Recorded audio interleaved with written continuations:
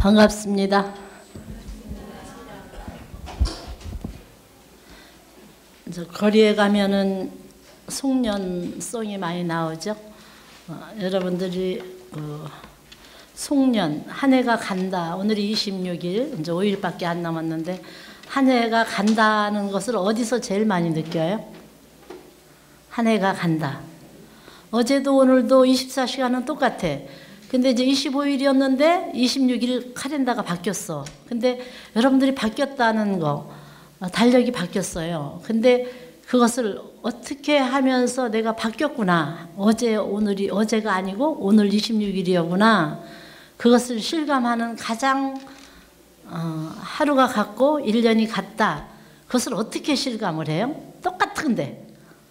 아침에 일어나면 밥 먹고 뭐 내 볼일 보고 저녁에 잘 때 똑같이 잤는데 어 이제 시계가 없고 카렌다가 없는 곳 그러면은 해가 그죠 캄캄해지고 그런데 북극이나 남극은 6개월간 낮이고 6개월간 밤이잖아. 어? 우리 대한민국은 그래도 하루 24시간이 중에 어 12시간이 밤이고 대략 12시간이 낮이라는 것이 있기 때문에 어, 만약에 캄캄하고 아니 공간이 사람들이 있다 하더라도 시간 시계도 없고 달력도 없고 그렇다면은 하루가 같구나 한 해가 같구나 그럼 여러분들 일생에서 하루가 같다 아, 올해 2015년이 가고 있고 2016년이 온다 어, 어떨 때 제일 가까이 느껴요? 언제? 못 느껴? 어제도 오늘도 똑같아? 응? 언제 그걸 느껴요? 응? 아이가 크는 모습을 보고, 어. 근데 이제 아이들이 크는 것은 1년 정도 돼야 느껴지잖아요. 그죠? 하루 자고 났는데 하루에는 변화가 없어. 어? 하루, 하루가 아주 인지하기는 어렵죠. 계절? 그 봄, 여름, 가을, 겨울 우리나라의 사계절인데, 응? 어, 지금 이제 가을절기라고 하지만은 낙엽이 떨어진 지가 찬참 됐어요. 어, 20 사실은 25일 날 어제가 아, 우리 시어머님 육신의 교구장님 어머님 생신이에요. 그래서 어, 25일 날인데 어저께 천정공을 가야 되니까 23일 날 어, 인사드리러 갔어요. 근데 옛날에는 음력으로 한국을 음력으로 하니까 그 생신이 12월일 때가 있고 1월 달, 1월 초일 때가 있어요. 그래서 어떤 때는 1월 초고 12월 말. 그럼 1년에 양력으로 따지면 생일을 두 번 하고. 그러면은 한 해는 양력 음력으로 맞지 않기 때문에 한 해는 생일을 못 하고 이런 적도 있어요. 근데 이제 그때는 눈이 많이 쌓여 있을 때도 있고 어, 크리스마스가 이번에는 겹쳤지만 대개 크리스마스 지나가면 눈이 쌓여 있을 때가 있고 안 쌓여 있을 때가 있어. 근데 이제 여기서 우리가 교장님이랑 인사드리러 가야 되니까 오전에 일을 보시고 어, 점심을 먹고 1시에 출발해서 갔어요. 이제 가서 뵙고 인사만 드리고 올라오니까 오다 보니까 5시쯤 고속도로를 통과하고 있는데 이제 잠깐 인사만 드리고 오지만 어? 그때 작년 이맘때는 눈이 쌓여 있어서 아 겨울이구나. 한국으로 얘기하면 11월을 동짓달이라고 그래요. 12월 달을 섣달. 아, 저 서운하게 지나가는 마지막 달이다 해서 섣달이라고 그러거든요. 그래서 동짓달. 사실은 어, 동지가 여러분들 12월 22일 날이 동지잖아요. 동지는 양력으로 해요. 입춘. 24절기가 있는데 24절기를 가지고 어, 우리나라 사람들은 어, 이렇게 하루가 같구나 어떻게 같구나 인식하는데 24절기로다가 옛날 조상들은 그걸 인식을 했어요. 아, 한 해가 같고 요번 동지는 어떻고 요번 동지는 어떻고 그러면 이때쯤 되면은 동지고 이때쯤은 입춘 입춘이 되면 버들강아지가 눈이 나오고 어?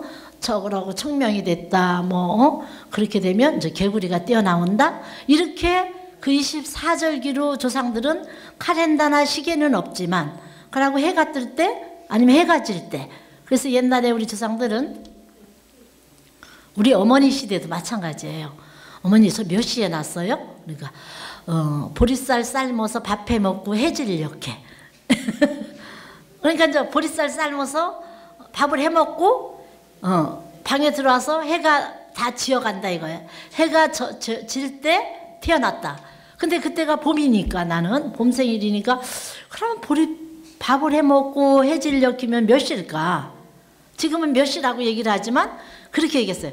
해 동틀녘에 한밤중에 이렇게 여러분들의 남편이나 여러분들의 부모들은 몇 시에 태어났어요? 그러면 대개 할머니 할아버지들이 그때 몇 월 며칠이는 알아? 음력으로? 몇 월 며칠 날? 해질녘에 동틀녘에 응? 그러고 어 뭐야 해가 중천에 떴을 때. 그게 이제 정오야. 그렇게 표현을 했어요. 그래서 계절이 가고 시간이 가는 것을 그렇게 인식하고 있었어요. 근데 그러고 옛날에는 시골이 봄에 씨앗을 뿌리면 여름에 어? 과일을 따먹고 가을이 되면 저 그러면 겨울에 냉장 보관하는 게 냉장고도 그렇게 없었으니까 구경을 못 해요. 그러니까 수박이 흐느러졌을 때, 참외가 흐느러졌을 때, 그러니까 과일이 많았을 때 너를 낳다 이거야. 그 여름 생일이야. 근데 지금 애기들한테 과일이 많았을 때 낳다면 지금은 사계절 과일이 많아. 어? 하우스 재배로요. 딸기가 봄에 나오는데, 그죠? 요즘에도 딸기가 얼마나 맛있게 잘 나오는지 몰라요. 그러니까 지금은 과학이 발달하다 보니까 그런 걸로 설명할 수 있게 시간도 넘어서고 계절도 넘어서고 응? 아까 계절의 변화로 나이를 알고 아 한 해가 가는구나 안다는데 그런 걸로 알 수 있는 때가 이미 지나가 버렸어요. 계절의 변화로. 그래서 시골을 갔다 올라오는데 산에 나무 가지가 다 떨어졌죠. 산에 잎이 잎이 떨어졌는데 스모그 현상으로 23일을 갔다 오는데 안개가 저기 스모그 때문에 껴가지고 그 나무 잎이 떨어진 게 아니고 안개 속에 그 앙상한 가지에 안개가 저기 기니까 어?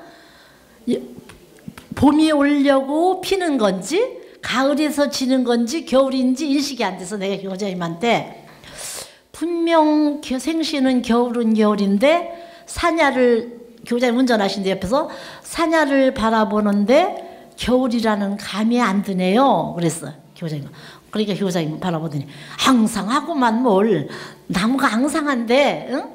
겨울이지. 근데 그 스모그로 가려져 가지고 낙엽이 떨어졌다는 것이 안 느끼고 흐릿하게 보이니까 나무가 풍성해 보이는 거야. 그러니까 아 계절을 지금은 이제 공기오염도로 의해서 그렇게 스모그가 중국 그 넓은 대륙의 모래바람이잖아요. 그렇게 돼서 북경에는 스모그가 이, 뭐 2% 농도가 넘어가지고 마스크를 안 쓰면 못 다니잖아요. 지금 당장 그런 현상이 일어나고 있거든요. 그러니까 계절을 인식할 수 있고 세월을 인식하는 것은 지금은 사람마다 다 달라요.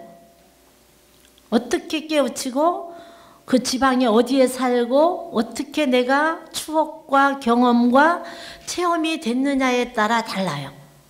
그러니까 옛날 할머니들은 몇 월 달쯤이면 이제 이번에 이제 시골 가서 잠깐 한 시간 정도 어 우리 어머님하고 얘기를 하는데 이제 노 권사님이죠. 94세시니까.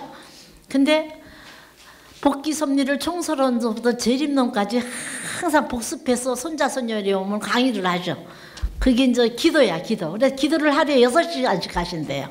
그래, 여섯 시간 무언 기도를 하세요? 그래서 여쭤보니까 하나님 창조원리 복귀섭리 서론부터 창조원리, 창조원리부터 재림론까지 하시는 기도야. 거기에 조상과 중도와 후손까지 하는 여섯 시간 걸리죠. 눈만 뜨시면 기도하고, 이제 피곤하시면 주무시는 게 나이 드셔서, 어? 삶이 그렇잖아요. 그러니까 얼마나 기억력이 좋으시고 총기라고 그러죠. 아이들 얘기하면 총기지만 좋으신지 이제 아들 딸을 십남매를 낳으셨대요. 를 낳았는데 몇 월에 몇 시에 몇 시는 모르고 해질 이렇게 어떻게 나고 어떻게 나고 어 누구는 태몽 꿈을 어떻게 하고 누구 낳고서 어디가 아팠고 어디가 아팠고 그걸 다 하시는 거예요. 어? 그런 그런 얘기를 하시면서 본인이 경험한 거잖아요.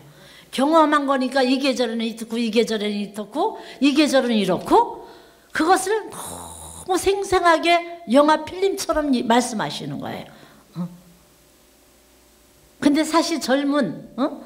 내가 30이나 적은 나지만 30살 이하로 적지만 나는 아들 딸 난 기억도 잘 몰라. 그때 아 생각하면 아 그랬었구나. 근데 그렇게 다 깨고 있다는 얘기는 그러고 어 이제 연세가 있으시니까 활동량이 활동 공간이 공간이 다리도 이제 불편하시고 이렇게 뭐야 유모차에다 돌 얹어 놓고 끌고 다녀야 네 다리로 가야 안전하시니까 함부로 나갈 수도 없잖아요. 근데 이제 아침에 4시쯤에 일어나시면 1시간 기도하시고 1시간 산책을 나가신대요. 그걸 끌고 동네 1시간 산책을 나가시면서 산책을 가면서 그 도로 따라서 산책을 하면서 어, 기도한 것을 이루어 달라고 그 아버님 생각하고 걷다 보면 한 시간이 금방 간대요. 그래고 이제 들어오셔서 식사하시고 하루 일과 이제 시작하시죠. 어. 그러고 이제 깨시는 것은 새벽 4시가 아니고 어. 이제 초저녁에 한 10시쯤이나 9시 되면 주무시는 것 같아. 그러면 12시 정도 3시간 노인네가 운동량이 별로 없으니까 그럼 12시 정도 깨시는 것 같아요. 어떤 때는 1시에 깨신다고 그러는데 그러면 아침 4시, 5시, 6시까지 기도하시는 거예요.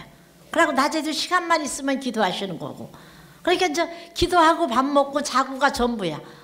그러니까 다 그것이 다 생생하게 하는데 왜 그렇게 기억을 잊지 않고 있느냐? 어? 본인이 사연 사연을 안고 체험했던 거기 때문에 그리고 언제 어떤 꿈을 꿨고 어떤 꿈에 의해서 아버님이 어떻게 안내를 했고 어머님이 어떻게 안내를 하고 그런 것까지 다 기억을 하고 말씀을 하세요. 그래서 지금 연세가 어떻게 되셨어요? 그라고. 어.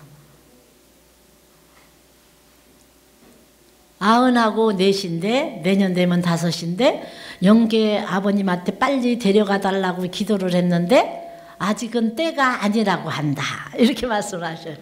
그래서 이제 그랬는데 오시면서 말하냐면 내가 선택해서 할 수 있는 게 없는데 어, 이 늙은이가 내가 선택해서 할 수 있다고 많이 외쳤다.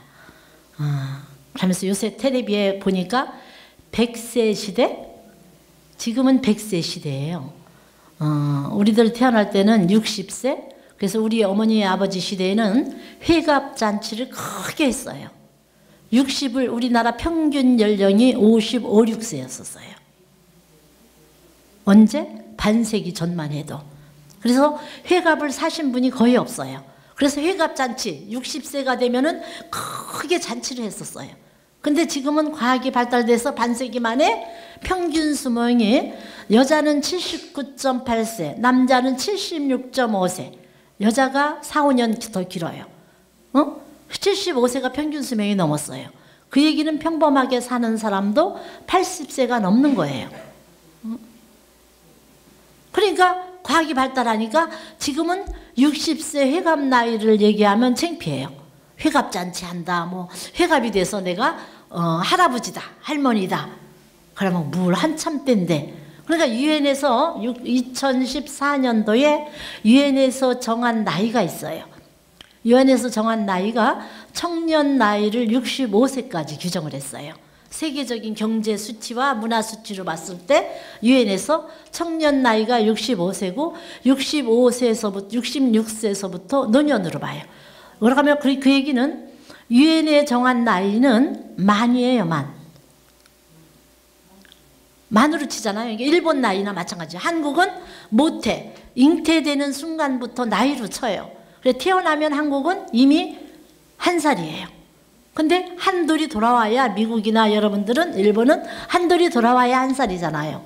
그래 우리는 그건 만 나이다. 만 나이다 그러고 실제 나이는 모태에 잉태되는 순간부터 성장한 10개월이 한 살이에요. 한국은. 그게 선민권이에요. 이스라엘도 모태 나이를 쳐요. 선민권만이 모태 나이를 쳐요. 어?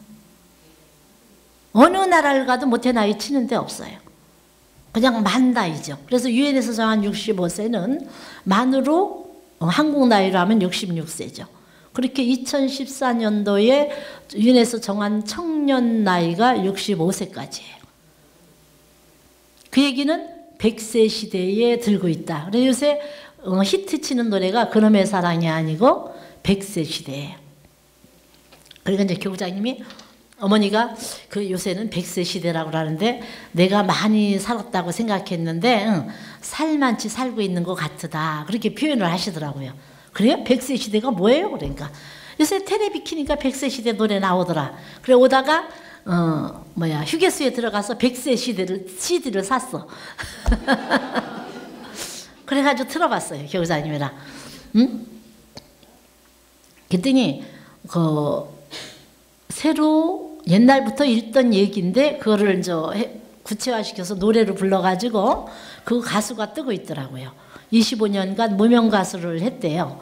그러니까 어, 60세에 저 세상에서 날 데리러 오거든 아직은 젊어서 못 간다고 전해라. 못 간다고 전해라 하는 게 그 백세 시대 노래예요. 들어봤죠? 그러니까 70세상에서 저 세상에서 날 데리러 오거든 아직은 할 일이 많아 못 간다고 전해라. 그러니까 이제 80세에서 저 세상 날 데리러 오거든 그러니까 어? 어 아직은 어 뭐라 그러다 80세도 아직은 쓸만해서 못 간다고 전해라. 그러고 이제 90세에 데리고 오라니까요. 어? 갈 때가 되면 내가 알아서 갈 텐데 왜 데리러 왔느냐고 전해라. 90세는. 그러니까 이제 100세에서 저 세상에서 날 데리러 오거든. 어? 좋은 날 좋은 시에 간다고 전해라. 그랬어요. 어? 그러고 났는데 이제 2절에 가서 또 뭐라 그러냐면 이제 그 CD 들으면서 교장이 부르는데 옆에서 들은 얘기예요. 그때 2절은 80세부터예요. 80세 저 세상에서 어? 또 데리러 오거든. 이제 한 번 불렀는데 안 갔으니까. 그러니까 80세 저상에서 또 어, 데리러 오거든. 어, 자존심 상해서 못 간다고 전해라.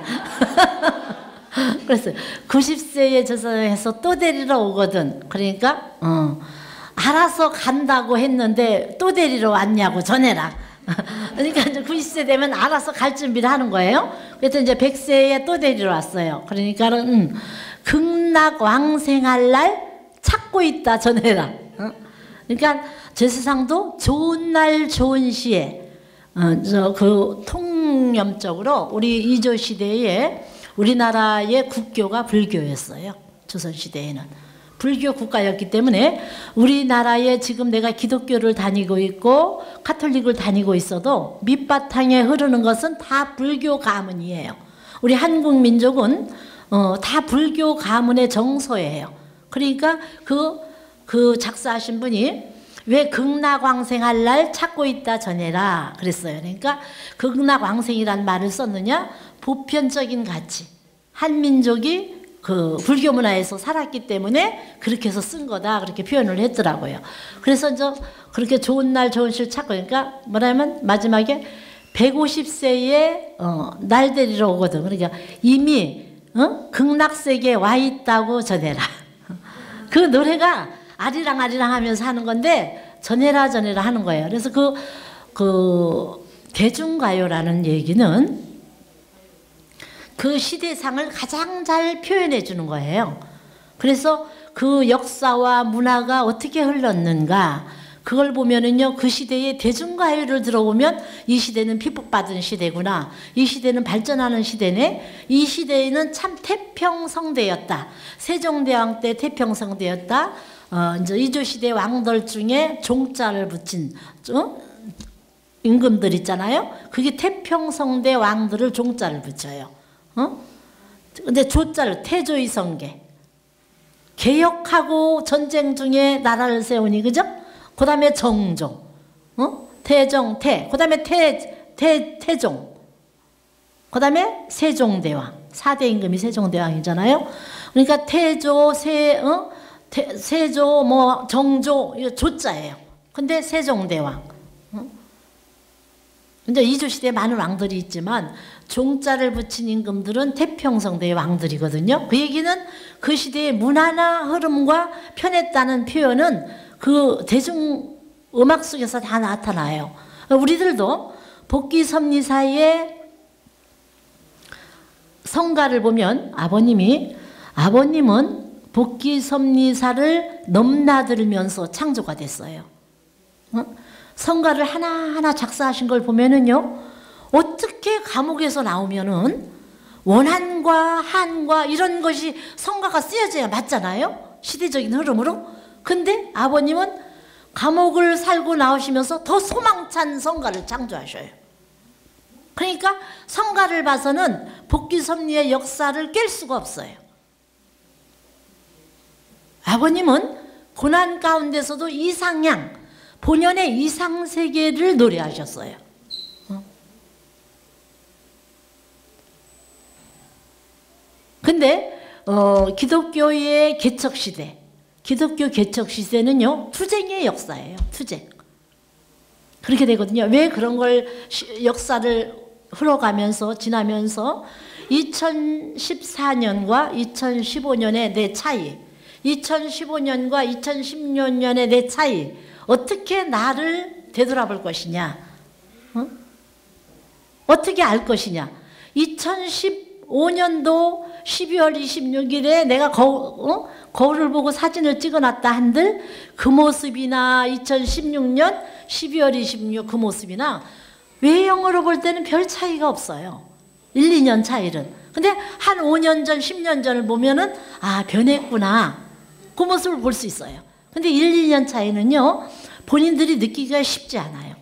근데, 어, 사모님 말씀을 생활 원리를 듣고 실천한 사람은 지금 저, 어, 9개월째인데, 10개월째인가요? 9개월째인데, 여러분들이 그때 시작할 때 내가 여러분들 사진을 찍어 놓고 기억해 놓으세요. 여러분들 옆에 사람 얼굴을 기억하세요. 그랬어요. 시작하는 날. 근데 지금 10개월이 돼 가잖아요. 지금 보면은요, 확실하게 차이가 있어요. 내가 얘기하는 게 아니라 여러분 스스로가 느껴요. 뭐로? 말씀으로 빚어진 사람은 확실히 차이가 나요. 근데 말씀 없이 그냥 어제도 오늘도 내일도 사는 사람은요, 차이를 못 느껴요. 여러분들, 선배님들, 우리 이정옥 선생님이나 36과정들이나 이정옥 선생님도 90한 4세나 5세? 매주 예배 오세요. 응? 그럼 선배님들이 다 거의 90세가 다 되신 분이에요. 36과정 정도면. 80 한 7세에서 95세 사이거든요. 아버님보다 연세가 많으셨던 분들도 있으니까. 이완 목사님은 100세가 지냈죠. 근데 지금도 순회 다니셔요. 근데 그분 보고 100세가 됐다. 이정옥 선생님이 95세가 넘으셨다고 딱 뵙고 손을 잡고 인사하면은요, 연로하시다. 한 7, 80 되셨겠다. 그렇게 생각하지 95세라고 하시는 분이 없어요. 왜? 아버님이 체율된 신앙, 체험적인 신앙, 우리 축복 가정들은 영계에 대한 확신이 있어요. 근데 영계에 대해서 모르는 사람들은 두렵잖아요. 내가 몇 살 되면 죽는다. 어떻게 될지 모른다. 내일을 몰라요. 여기가 전부가 아닌 건 알겠는데 여기다가도 전부인 양 목숨 걸고 살아야 돼. 그래서 막 계산법이 지상에다 두고서 막 싸우는 거예요. 응? 하나 줬으면 하나 받아야 되고, 응? 그리고 손해보고는 못 살고, 희생하고는 못 살고, 계산법이 여기니까. 근데 원리를 아는 축복 가정의 삶은 계산법이 지상이 아니에요. 왜? 여기는 엄마 뱃속에서 사랑으로 만들어져서 사랑으로 태어나서 사랑을 완성하기 위한 과정이고 사랑의 열매를 맺으면 영계에 가는 거다.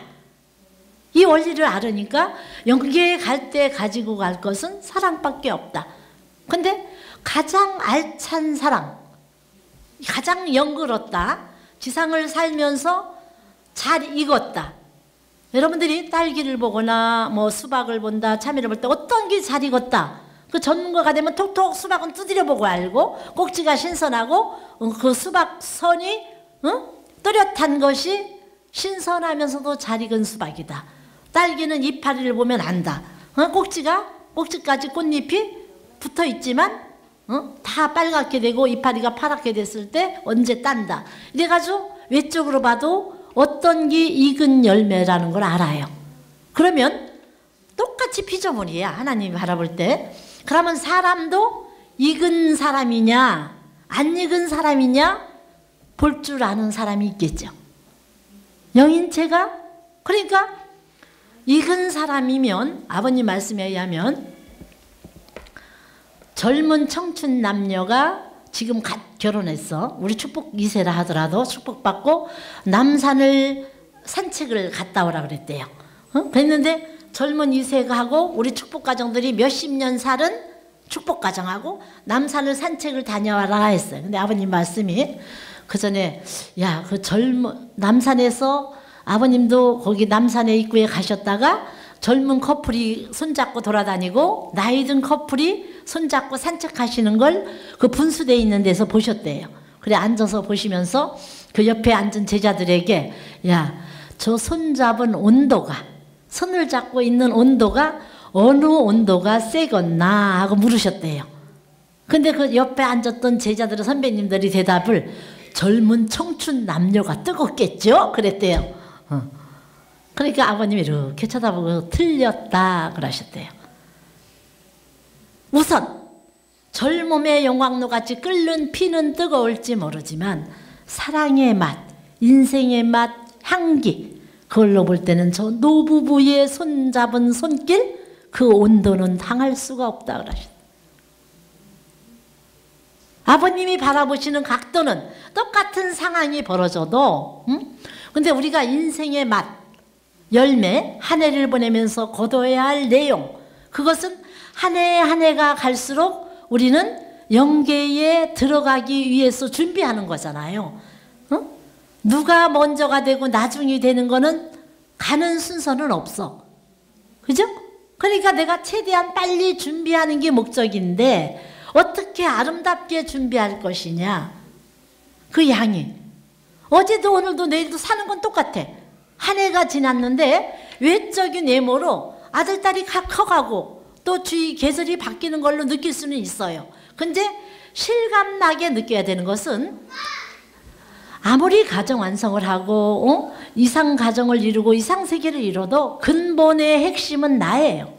나 혼자 태어나서 내가 다 희생봉사하고 사랑을 저축해서 살다가 갈 때 혼자 가는 거지 같이 가는 거 아니에요. 그렇게 그 얘기는 사랑의 열매를 거뒀을 때, 어? 그 열매의 손길로 연계를 들어갈 때 내가 거둔 동료들과 같이 가는 거 아니에요. 혼자 가는 거예요.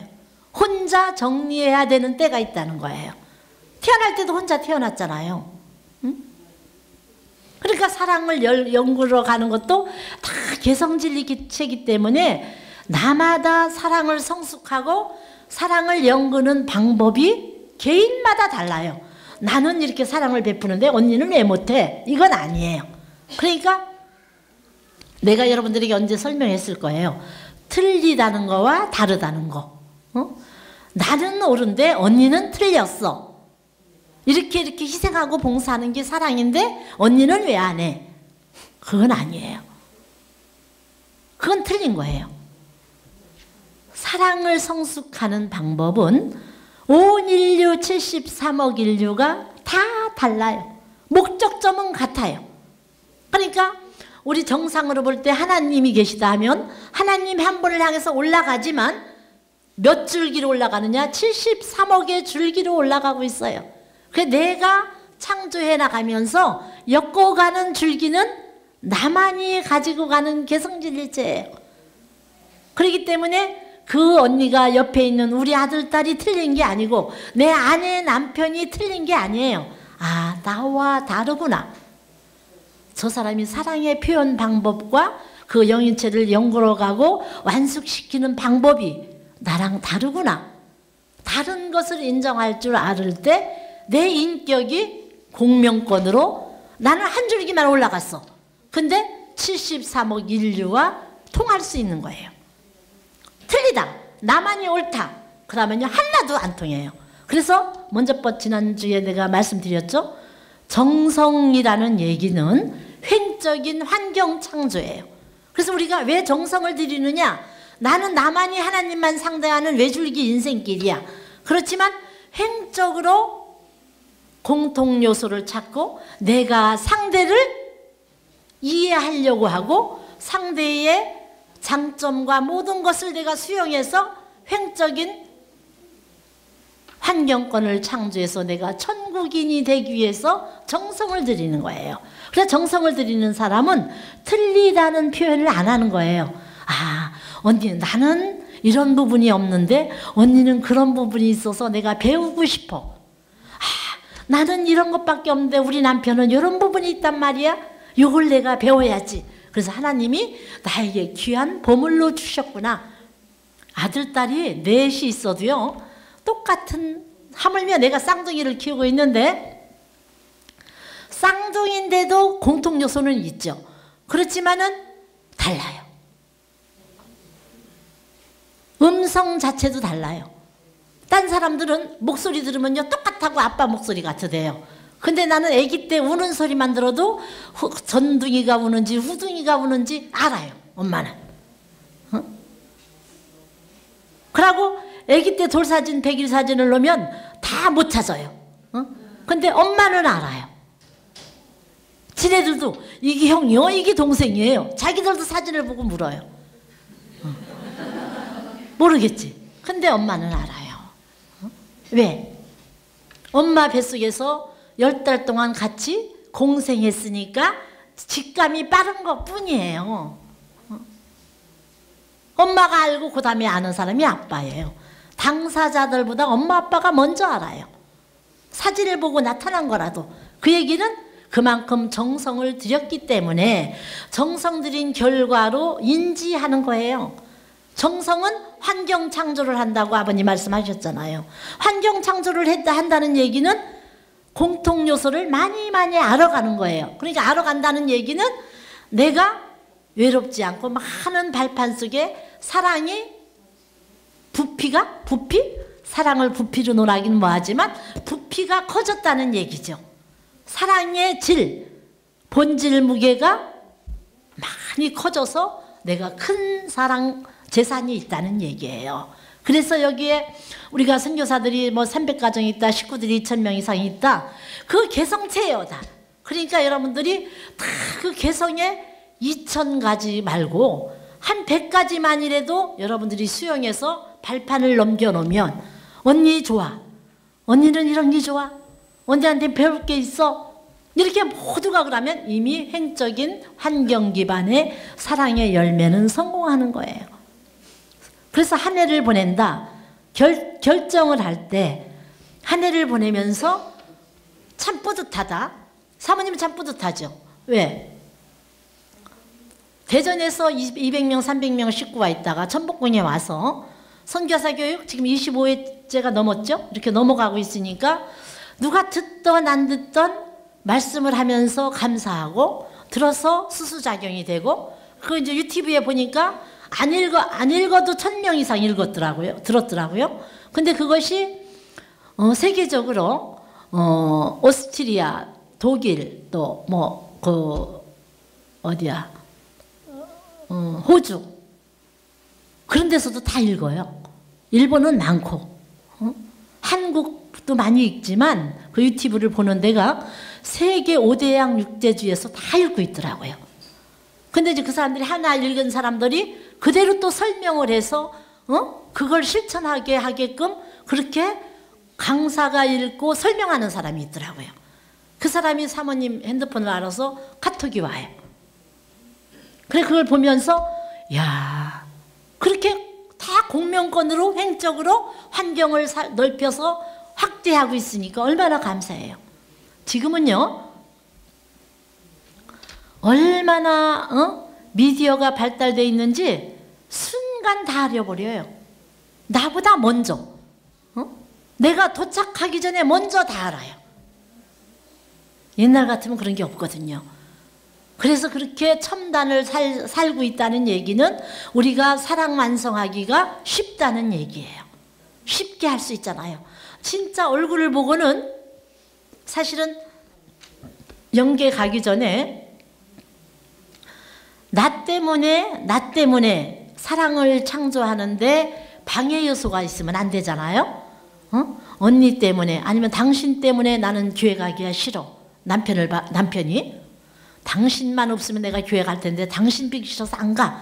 한국 남녀, 남편이 어, 그렇게 어, 뭐야 180도 다른 방향으로 표현하는 사람이 있어요.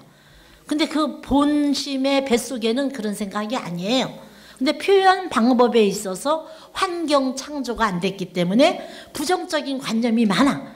그러니까 표현이 부정적으로 했던 사람은 단점보다 몇 프로? 1%의 장점보다 99% 단점이 보잖아요. 그러니까 그렇게 표현을 하는 거예요. 당신 비기 싫어서 교회 가기 싫어. 이제 부인이 교회 좀 한번 와요. 그 말 하는 순간 탁 튀어나와. 근데 진심으로 만났을 때 상담을 해보면 뭐라 하잖아요? 나는 교회는 못 나가고 있지만 우리 애기 엄마가 열심히 다녀줘서 감사하게 생각하고 있어요. 그렇게 표현을 해요. 근데 그나 그 남편의 뱃속을 안 들어가 봤잖아요. 근데 여러분들이 같이 살면서 정성을 들여서 수평을 이뤘더라면 그 마음을 알았을 거예요. 아, 저 남자는 그러면 내가 비기 싫어서 안 난다면 내가 없으면 나올까? 그래가지고 그럼 나도 안 나가 버릴까? 그래가지고 일본 언니가 우울증에 빠지는 언니도 봤어요. 자폐증에 빠지고, 어? 아니 자폐증이라도 무기력증. 근데 절대 그렇지 않아요. 한국은 어, 5천 년 역사에 뭐 그 과학적으로는 과학적으로 아니라 역사학적으로 그 표현하기를 937회의 외침을 받았다. 5년마다 전쟁을 했다 그래요.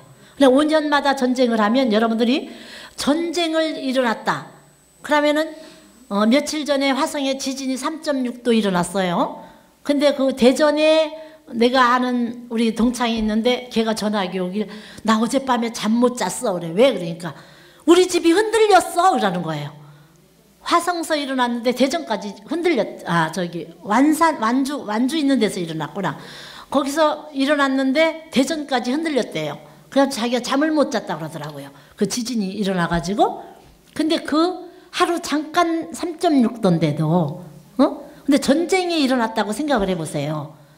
그러면은 무엇을 가지고 피난을 가지고 무엇을 먹고 살고 그게 중요한 게 우선 살기 위해서 보따리 쌌다 풀렀다 누구 손잡았다 이건 난리가 아닐 거예요. 그러니까 한 사람에도 더 먹여 살리고 한 사람도 더 붙잡고 살으려면 긍정적인 표현을 하고 가만히 있어도 괜찮대 이런 표현보다 빨리빨리 안 가면 죽어 안 가면 죽어부터 표현을 해요. 그러니까 그 전쟁 문화 속에서 부정적인 것을 표현하려고 하는 게 아니라 재촉하다 보니까 그렇게 습관화돼 버렸어요. 그래서 표현이 안 하면 죽는다. 어? 너 이거 해놓으라는데 숙제 안 해나 봐. 그럼 너 죽을 줄 알아? 사모님도 클 때 그냥 죽을 줄 아는 표현이 당연한 건 줄 알았어요. 그래서 어, 청소해. 그러면 이거 안 해놓고 있어봐라. 너 이따 엄마한테 혼날 줄 알아? 왜 그렇게 맨날 그런 얘기를 듣고 컸어요. 근데 이 문화 속에서 그 한국의 역사 문화를 알으면은요, 그때 그런 언어를 쓸 수밖에 없었겠구나. 왜? 당장 급할 때, 다급할 때는요, 긍정적인 언어의 자극보다 부정적인 언어의 자극이 촉이 쓰잖아요. 응? 아이들도 야 이렇게 이렇게 하면은 잘 될 거야. 걱정하지 마. 그러면 태어나잖아요. 빨리빨리 빨리. 그럼 뭔 일이 일어난 줄 알고 서두르거든요. 그러니까 부정적인 언어로다가 아이들과 남편과 살라고 하다 보니까 그 문화가 형성돼서 그게 우리 피, 피, 핏줄을 타고 내려온 건 아닌데 환경적인 여건에 의해서 내려와서 그런 표현을 하는 거예요. 환경적인 여건. 그래서 여러분들이 한국 문화를 알아야 된다. 한국의 환경. 그 가문에 시집 갔을 때 그 가문에 들어가서 그냥 말하는 말을 그냥 알아들을 수 있다. 언어의 교류는 아무것도 아니에요. 언어는 다 알아들을 수 있어요. 어? 그러니까 내 얘기하잖아요. 아이를 낳았는데 어머님이 오셔서 시어머니가 오자마자 아이고 이놈의 자식 참 밉게도 생겼네. 그래 일본 언니가 입이 이렇게 나왔어. 이제 시어머니가 시골로 가셨어요. 그러고 이제 사모님이 신방을 갔어요. 애기 나면 이제 8일이 지난 봉헌식이 지난 다음에 신방을 가거든요. 그 갔더니 어머님 왔다 가셨어요. 그러니까 왔다 가셨대요. 그러면서 우리 어머님 안 왔으면 좋겠어요. 그래 일본 언니가 이제 사모님한테 믿으니까 얘기한 거예요. 왜 일본 언니도 그렇게 얘기 안 해요. 잘. 근데 사모님이 언니 같으니까 얘기한 거예요. 왜 그러니까 오자마자 우리 애기한테 첫 마디가 그러니까 첫 아들의 큰 아들의 첫 손주야. 뭐라고 말씀하셨는 줄 아세요? 그래서 왜 그러니까 우리 애기를 믿게 생겼다 그랬어요. 사모님 우리 애기가 미워요? 그러면서 나한테 묻는 거예요. 그래서 왜? 그러니까 오자마자 왜 그래 믿게 생겼니? 그랬대요. 그 말을 하고 갔다는 거예요. 시어머니가. 근데 그 말이 일본 언니는 꽉 챘어. 어떻게 자기 손주인데 밉다고 했느냐 이거예요. 그래서 내가 말은 잘 알아들었다. 틀린 말은 아니죠? 말은 알아들은 것 같은데 그 환경 흐름, 문화를 이해를 못하니까 오해가 된 거예요. 근데 여러분들이 섭리적으로 한국에 왔다. 섭리적으로 국제 축복을 결심하고 왔을 때는 언어도 알아들으면 다 긍정적으로 여러분들이 표현할 줄 알아야 돼요. 만약에 어머님이 믿게 생겼다 그러면 어머님 닮았어요. 이렇게 써봐. 아, 할머 그럼 어머님이 할머니 닮았어요. 그러면 그때 어머님이 뭐라고 하겠어요? 어머님은 그 아이가 미워서 표현한 게 아니잖아요. 한국 문화야 문화. 문화는 사탄이가 잡아가니까 21일 37일이라고 그러거든요. 37일 21일 전에는 외부 사람도 못 들어오게 했어요.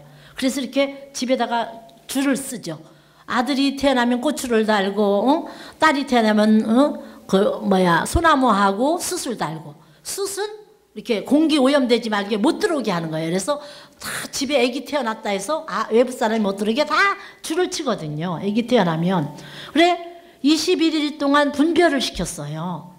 그래 분별시켰을 때 어머님이 아이 그놈 믿게 생겼다 그러면 할머니 닮았다 그래요 감사합니다 그러면 어머님이 고맙다 그러고 가신단 말이야 그러면 자기가 생각을 할 거야 어, 자기가 밉다고 해놓고 내가 어머님 닮았다고 그랬는데 고맙다고 그러거든 그러면 그게 question mark 아니에요? 밉다고 했는데 고맙다고 한단 말이야 그러면 한 번 생각을 해서 아버님은 아, 문화를 알 때까지는 무조건 감사하라고 그랬어요. 봐도 못 본 척. 그래서 한국에는 결혼을 하잖아요. 결혼을 할 때 친정집에서 시댁에 보낼 때 딸한테 교육하는 것이요. 9년간 잘 지내고 친정에 와라 그랬어요. 9년 안에는 친정에 못 가는 거예요. 옛날에는. 어떻게 가냐? 봉사로 3년, 기머거리로 3년, 벙어리로 3년. 그러면 9년이 가잖아요. 그래서 그러면 성공하면 집에 와라. 한 번 떠나면 출가 외인이라 그래가지고 친정에 못 들어오게 돼 있어요. 결혼하면 그 집에서 뼈를 묻어라. 그 집에 귀신이 되라. 그래서 못 들어오게 돼 있거든요.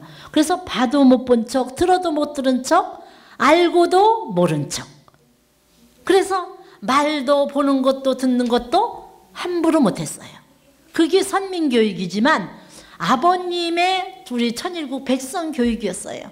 그래 아버님도 어디 갔다 오시면은 눈을 성별하고 귀를 성별하고 입을 성별하는 심정으로 축복 가정은 살아라. 그래서 여러분들이 한국에 왔을 때 그런 얘기를 들었을 때 내가 눈을 성별하고 귀를 성별했다면 입으로 감사합니다.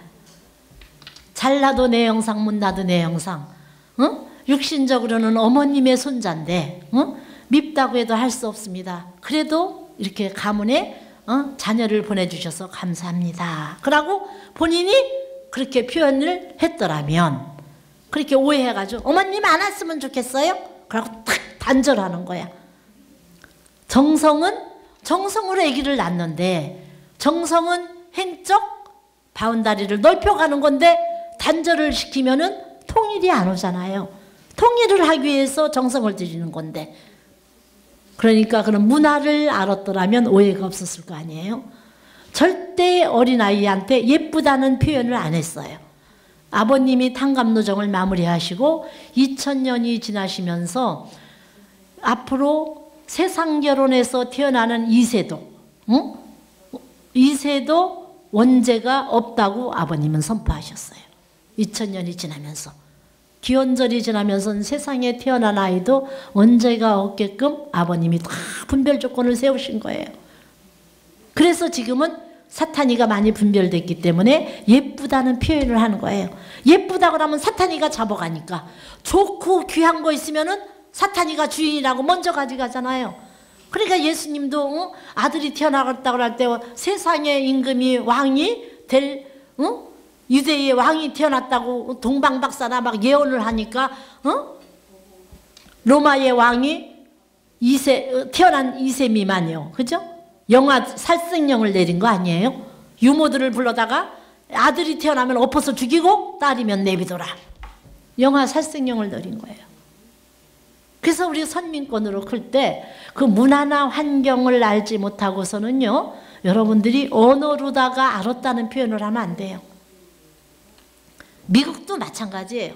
이미 언어가 생겼다는 얘기는 어? 서로가 교감하지 못하게 바벨탑을 쌓았고 언어가 소통이 돼도 문화가 벌써 2000년 이상 다른 문화권에서 살았어요.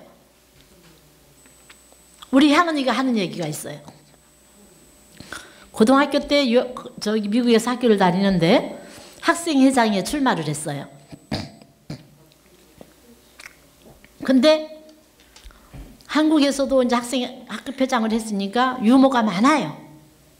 향은이가 유머가 많은데 이 쪼크를 외국 아이들은 쪼크를 하는 게 인기가 있잖아요. 이 쪼크를 사, 용하면 한국 애들이 다 웃어요. 어? 그래서 그 쪼크를 사용했대요. 출마를 할 때. 근데 아무도 안 웃더라는 거예요. 근데 이제 그 다음에 그 미국 아이가 나와서 쪼크를 사용하는데 자기가 들을 때는 아무 웃을 얘기가 아니라는 거예요. 근데 애들이 막 웃더래요. 자기가 들을 때는 웃을 얘기가 아니야. 저것도 쪼크라고 해? 아유, 유치하다 생각을 했는데 그걸 듣고 애들이 막 웃더라는 거예요. 그래서, 아, 언어는 아는데 내가 문화를 모르는구나. 그래서 물었대요, 찾아가서. 누구에게? 횡적으로 물으면 창피하기도 하고 수치심이 느껴지니까 선생님을 찾아간 거예요. 선생님한테 가서 카운셀러 미국은 이렇게 학교 딱 입학하면은 카운셀러 선생님이 배정이 돼요. 그래서 3년 동안 카운셀러 선생님이 care를 해요. 수업은 딴 사람한테 받아도. 그래 카운셀러 선생님한테 가가지고 이렇고 이래서 일인데 우리 한국에서는 이렇게 되면 막 웃고 그런데 여기서는 이렇게 했을 때 왜 이것이 어? 소통이 안 되고 이러냐 언어로는 내가 다 알아듣고 다 표현을 하는데 그랬더니 그게 문화예요 문화 문화의 차이야 일본에서는 우스운 얘기인데 한국에 오면 안 웃고. 전쟁통에 빨리빨리 도망가기에 바빠서 빨리빨리 하는데 응? 일본에서 하얗고 하얗고 한다고 그 빨리빨리 하고 상대가 안 돼요. 어? 그 차이로다 그렇게 웃었던 거예요. 그래 문화를 얘기하더라는 거예요. 그래서 아 문화를 알아야겠구나. 그래서 미국 문화를 공부했다는 거예요. 그래 공부를 하고 나니까 대화하면서 교감이 되더라는 거예요. 그래 여러분들이 한국에 와서 10년, 20년 살았지만 언어만 소통하고 사는 사람이 너무 많아요. 어떻게 아느냐? 신방 가서 보면 알아요. 여러분들 남편을 만나보면 알아요. 일본 남편들을 집회를 하면 사모님한테 하는 얘기가 여러분들 어? 세계에서 제일 여성 중에 여성이 누굽니까? 그 투표하면 일본이 일본 여성이야. 세계인들을 모아놓고 투표를 할때 가장 여성 중에 여성, 가장 아내로 맡고 싶은 여성이 일본 여성이에요. 그래 일본 여성 아니냐? 언제 20세기에 20세기까지는 일본 여성이 1위예요. 어? 여러분들 좀 긴장해야 되지만 먼저 여러분들은 천일국 백성 됐으니까 21세기의 통계는 지금 세계 부인으로 맡은 여성 1위가 한국 여성으로 떠오르고 있어요. 어? 지금 유럽이나 어, 저기 나, 어, 미국 같은 데서 한국 여성을 1위로 꼽아요. 일본 여성을 1위로 꼽는 시대가 20세기에 20세기에. 그래 그렇게 1위를 꽂았던 일본 여성하고 살으니 얼마나 행복합니까? 하고 물어봐요. 그러면 99%의 일본 선, 그 남편들이 한국 남편들이 일본 색시를 데리고 사는 한국 남편이 대답이 사모님한테 뭐라 하는 줄 알아요? 사모님 3일만 살아보고 상담합시다. 사모님이 3일만 일본 색시를 데리고 살아보고 상담하세요. 그래요. 그래서 하나같이 고집이 센 거는 인정합니다. 1등 여성 고집 센 거 외에는 인정할 게 없다. 애교 서비스 없습니다. 근데 왜 그런 얘기를 들었냐? 문화가 다르니까. 여러분들이 문화가 이해가 됐더라면 서비스 방법이나 애교 떠는 방법이 달랐을 거예요. 한국 사람은 귀찮어. 그러면 일본 여성은 진짜 귀찮아서 그런지 가만히 가서 있어. 무서우니까. 큰 소리 나면 무섭잖아요. 어? 한국 사람들은 주체성이 강하기 때문에 일단 소리부터 크게 쳐. 그래서 소리가 큰 사람이 이기는 시대가 있었어요. 법보다 목소리가 우위였어. 근데 이제 지금은 입법 시대로 뭐 법이 법치주의 국가가 되고 법이 이제 다 음, 유능해져 버렸기 때문에 지금 모든 지식이 응? 행적으로 평법 평준화가 돼서 지금 법이 위에잖아요. 옛날에는 목소리 큰 사람이 다 이겼어요. 그러니까 이제 소리를 하면 딱 질러. 그러면 뭐 뭐라고 할때 귀찮아. 저리 가. 그러면은요. 그게 진짜 애기들이 붙잡아 매달려도 아빠 하고 그러면 저리 못 가? 근데 애기가 그래도 매달리고 아빠 좋아 뭐 어쩌고 하면요 끌어안아주고 같이 웃고 놀아요. 근데 통계적으로 다문화 가정에 국제 가정에 남편들이 이렇게 소리치잖아요. 그러면 아빠도 아이들도 다 뒤로 물러나요. 그러니까 아빠가 재미가 없는 거야. 자기가 소리친 거는 생각을 안 해. 문화가 달라서 뒤로 물러나 있는 거를 이해를 못 하는 거예요. 근데 우리 한국 사람은 그렇게 소리 지르잖아요. 아이, 그건 그렇고요. 어? 귀찮어. 그럼 귀찮은 건 귀찮은 거고 그래도 어? 예쁘다고 할 거는 해야죠. 하고 한국 여자 같으면 달래들지. 어? 귀찮다고만 하지 말고 예쁘다는 표현도 해보세요. 그럼 아빠 사랑해요 하고 이제 딸내미들이 달라지잖아요. 그러면 아빠도 사랑해. 그러면서 말이 언어가 달라져요. 근데 선교사 가정에 가보면은 아빠가 소리 지르서 무서워요? 다 도망가. 그래도 달라들어야 되네 한국 사람들은. 응? 바빠서 전쟁통에 도망갈 때 응? 응? 놓치면 안 되니까 소리 막큰 소리 지르고 도망가면서로 아빠 아빠하고 붙잡고 따라가야 사는 거 아니에요? 문화 배경이 그래요. 그러니까 서, 설사 남편이 화가 나서 소리 지른다 하더라도 어? 그 소나기가 딱 소리 질렀을 때 살짝 피해서 밑으로 들어가서 또 붙잡아. 그러고 사는 거예요. 그래야 남편이 오지 말란다고 진짜 안 와? 오늘 저녁에 내 옆에 오지 마. 그런다고 비계 들고 애기들 방에 가서 자. 그러면요 더 화나는 거예요 그게. 내가 가면 어딜 가요? 비계 들고 다리 당신 발, 발 붙잡고 잘게요. 발 밑에 가서 들어놓. 반듯하게 자. 그러지. 그럼 반듯하게 와. 그러지. 나가. 그러지 않거든요. 왜? 뱃속 깊은 데는 천적인 하늘이 함께하는 심정의 바탕에 정이 강하거든요. 한국 사람 이상 심정의 바탕에 정을 풍부하게 하나님이 키워온 민족이 없어요. 한국은 마저도 마저도 감사하다는 표현을 할 줄 알아요. 응? 맨날 두드리 맞아도 응? 그걸 감사하게 넘어간다니까요. 그러니까 맞고 사는 사람도 많은 거예요. 응? 뭐 때문에? 그놈의 정 때문에 살고 있거든요. 근데 그 정의 표현과 심정 문화에 여러분들의 양심의 바탕이나 한 해를 보내면서 재산으로 가질 수 있는 거는요. 이런 얘기를 왜 하냐면 체율적인 신앙의 바탕이 없이는요. 여러분들이 영글어서 결산을 볼 수가 없어요. 아버님 말씀에 신앙생활의 체험 어, 천성경 845쪽이에요. 여러분은 신앙생활에서 신비적 체험 혹은 영적으로 하나님이 계시다는 것을 체험하고 있습니까? 하나님이 계시는 걸 알아요? 여러분 중에 영적으로나 기도 가운데나 몽시 가운데 참부모님을 자주 보고 참부모님의 지도를 받는 사람이 있을 것입니다.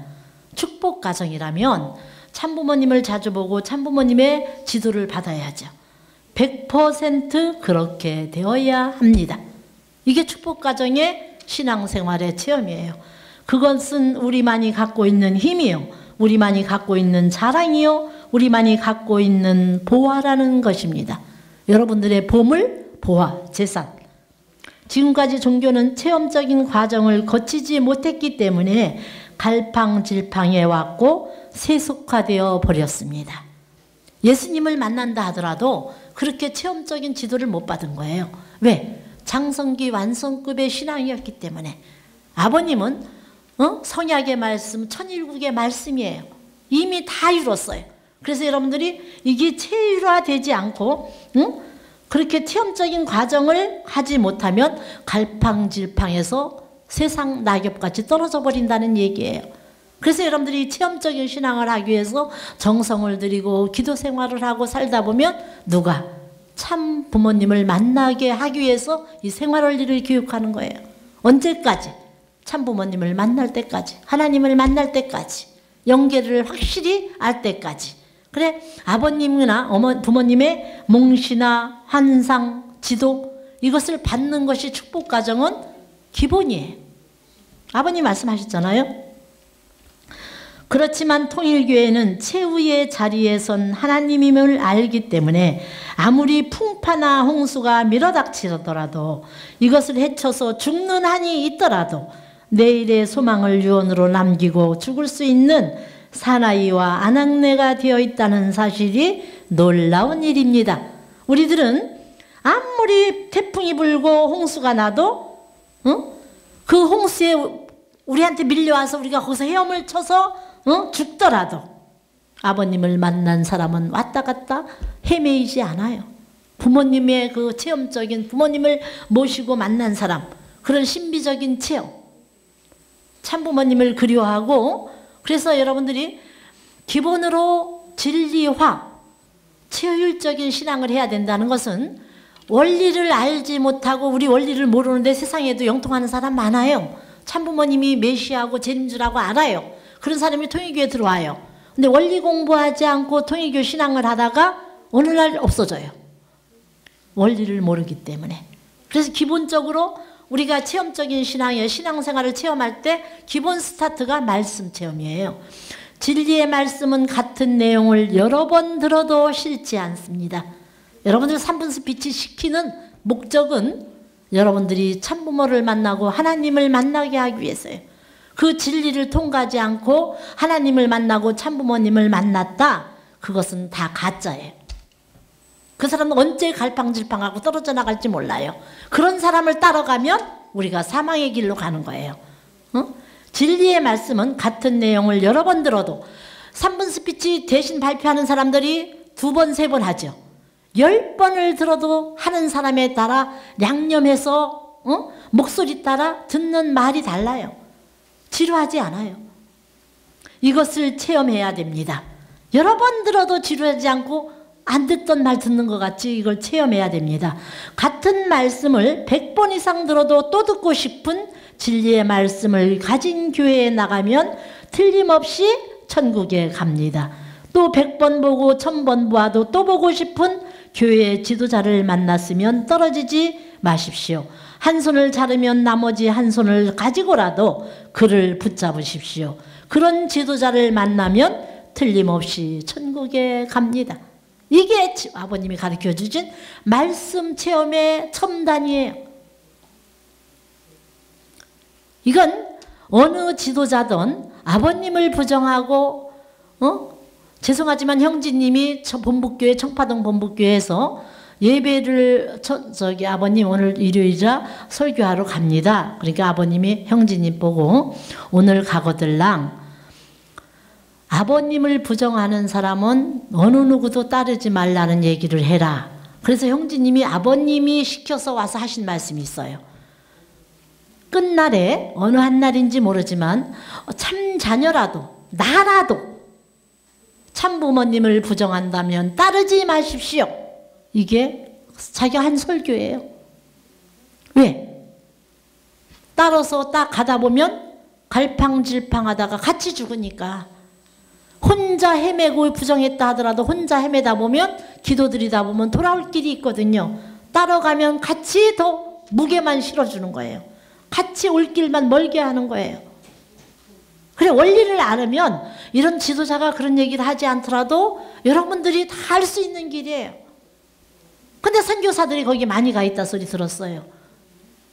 그 십자가, 그 역사적인 빛, 그것을 어떻게 감당하겠어요? 그건 갈 길이 아니에요. 아버님 말씀을 공부를 안 하고 원리를 모르는 사람이 간 거예요. 원리를 하고 아버님 말씀을 알으면 고마바다, 뭐 고택수다, 어? 어디 갈 수가 없어요. 아버님이 다 가르쳐 주셨어요. 통일교회 원리 말씀을 듣고 교회에 나오려고 결심하고 나면 반드시 시험이 따릅니다. 혹은 원리 말씀을 들으러 가겠다고 약속해 놓으면 반드시 집에 무슨 사고가 생기다든가 번번이 어떤 일이 벌어집니다. 여러분은 그런 체험을 했을 것입니다. 이것은 틀림없는 공식입니다. 왜냐하면 개인적인 환경에서 더 높이 올라가려고 하면 사탄이 꼭대기에서 눌러버리기 때문입니다. 그래서 화요일 날 사역자 공부하러 가겠다. 마음 먹으면 그날 일이 생겨. 토요일 날 말씀 들으러 가야지 일이 생겨. 근데 뭐라 그랬어요? 사탄이가 누르기 때문에 그것을 한 번은 극복해야 돼요. 내 얘기하잖아요. 저는 일요일 날 종족들 결혼식이다 해갑이다 안 가요. 아 종족들한테 선포했어요. 일요일은 우리는 참부모님의 말씀을 전해야 되고 교회 다니기 때문에 절대 저녁에는 몰라도 안 갑니다. 그러니까 거기서 누가 엄마 아버지가 돌아가셔도 안 오느냐? 못 갑니다. 그랬어요.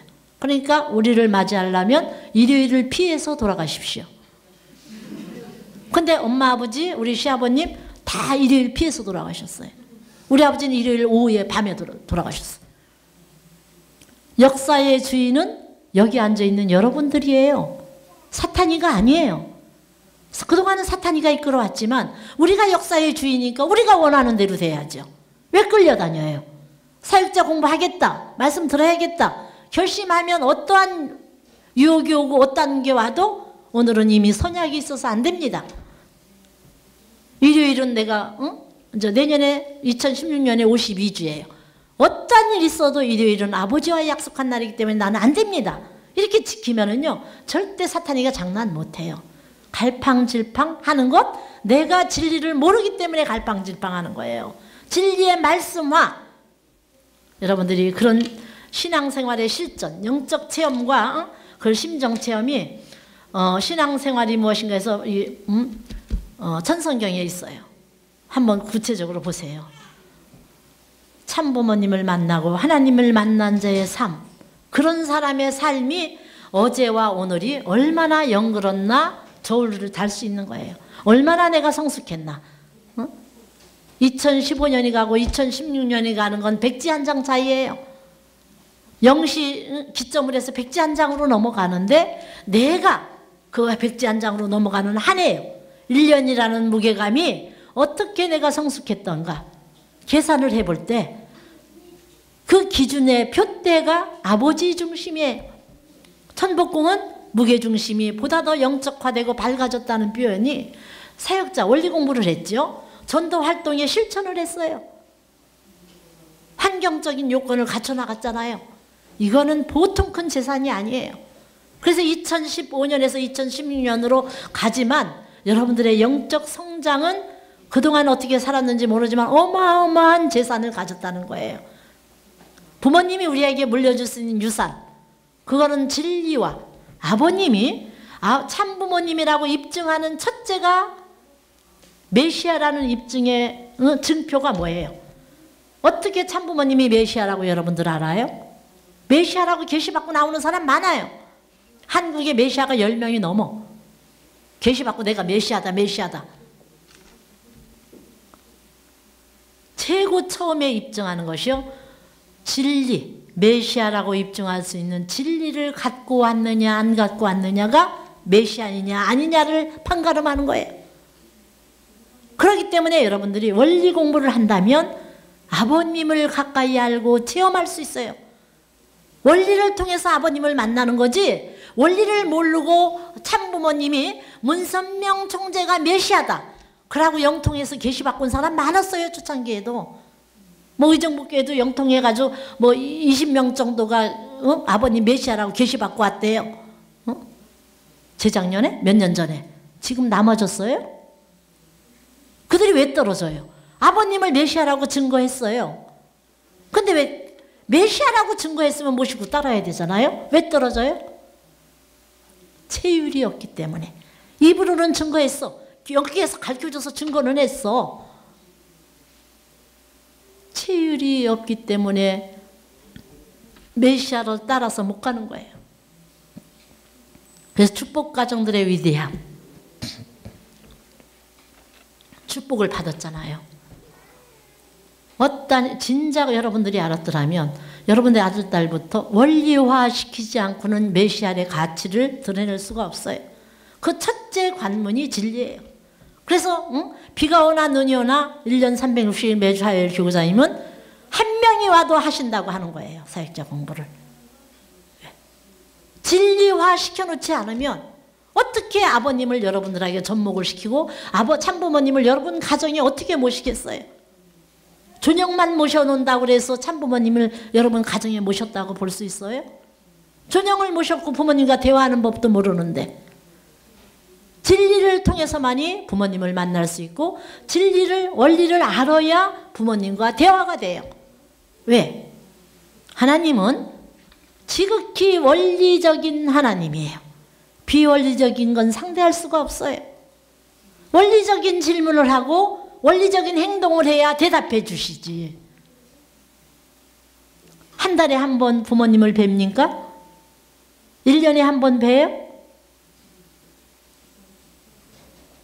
여러분들이 스스로 2015년을 보내면서 2016년을 맞이하는 마음 자세에 여러분 스스로 한번 기도해 보세요. 내가 과연 응? 아버님 말씀대로 응?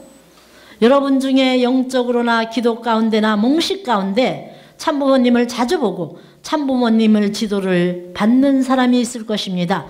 100% 그렇게 되어야 합니다. 아버님 말씀이에요. 무슨 일이 할 때, 어렵고 힘들 때나 부모님에게 여쭤보면 답변을 주십니까? 사모님도 100%라고는 할 수는 없지만, 어? 90% 이상 부모님께 여쭤보면, 어? 음, 성을 들리던 몽시를 보던 환상을 보던 어? 반드시 답을 주세요. 천북궁에 올 때도 왜 보내야 되는지 천북궁에 가서 제가 무엇을 합니까? 아버님이 가르쳐 주셨고 요새서 무슨 일 있을 때마다 어? 이렇게 이렇게 해라. 어떻게 살아라. 어? 그런 응답이 있으니까 자신 있게 사는 거예요. 어느 누가 반대하더라도 찬성하는 사 없어도 사랑할 수밖에 없는 거죠. 그러니까 2015년을 보내면서 2016년도에는 진짜 아버지가 참부모님 존영을 봐도 내 부모님 같고 아버님 하면은 어? 사랑하는 내 아들 딸아 아버님 내가 이렇게 이렇게 곤고한데 이럴 때 제가 어떻게 처신을 할까요? 부모님과 직접 100%의 경험이 없거들랑 아까 나오잖아요. 어? 100번 보고 1000번 봐도 또 보고 싶은 교회 지도자를 만났으면 떨어지지 마십시오.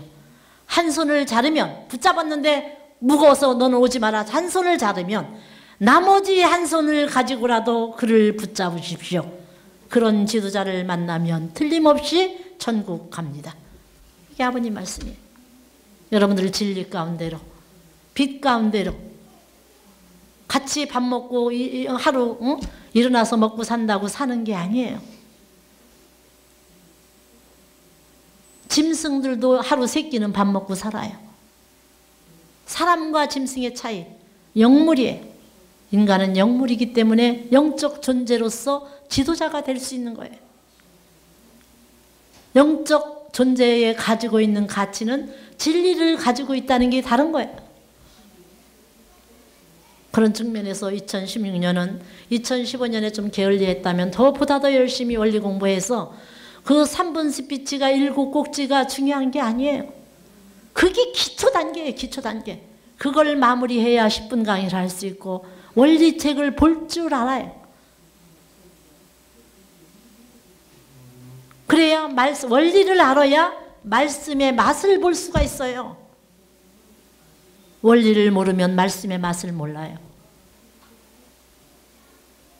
그러면 다 흘러보내요. 그러면 내 영인체는 언제 완성하고 가겠어요? 그래서 원리 공부를 하고 말씀 공부를 해서 영인체를 완성하기 위한 실천적인 삶. 그래서 전도 행각을 하는 거 아니에요? 그러면 그래 원리 공부하고서 전도 나가는 사람은 지치지 않는 거예요. 행복하죠. 말씀을 전할 수 있다는 게.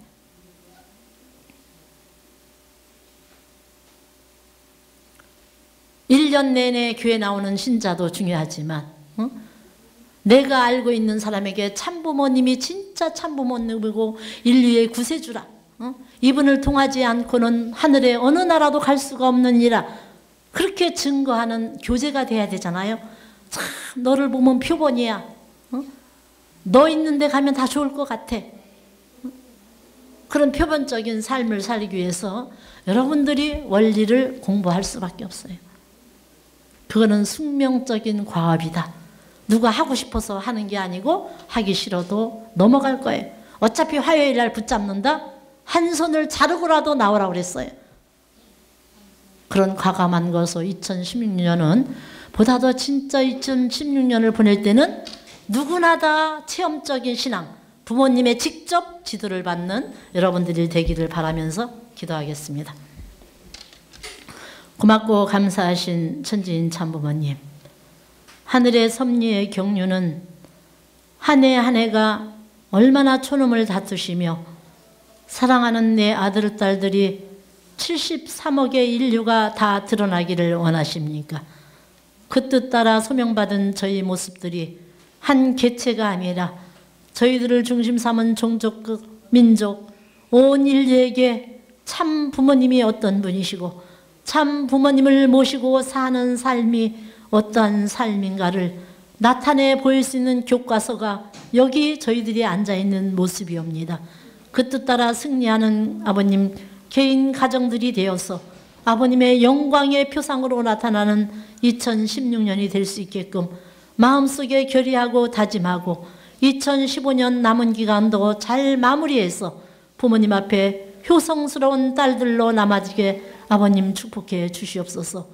아버님 기필코 찾아가야 할 귀한 나날들 속에서 우리는 참부모님을 만났고 참부모님의 축복을 받은 귀한 축복가정이란 이름을 가지고 무엇인지 원하면 원하는 대로 하고자 하면 하고자 하는 대로 반드시 하늘이 함께해서 이루어 주실 것을 믿습니다. 그 뜻 따라 승리하는 자녀들 되게 인도해 주셨기를 간절히 바라고 나면서 축복 중심가정 홍성순 이름으로 보고하며 축원하여 싸움나이다. 아, 저.